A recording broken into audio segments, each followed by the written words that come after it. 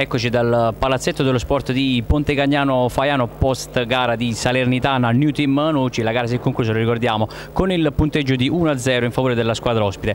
Con noi Francesca Del Gaiso, una delle calcettiste più giovani in questa Salernitana femminile di eh, calcio a 5, oggi una tua grandissima prestazione personale, sei andata Francesca anche più volte vicino al tuo primo gol in Serie A.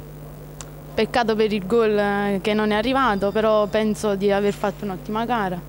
E Peccato anche che per il risultato che non è arrivato, però penso che abbiamo dato il tutto per tutte penso che abbiamo dato una scossa al campionato.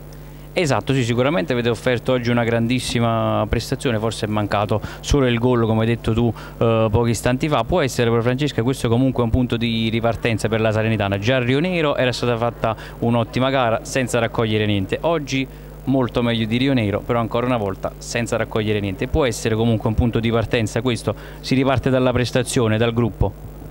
Penso che da oggi è ripartito un altro campionato e speriamo di fare bene la prossima e di vincere.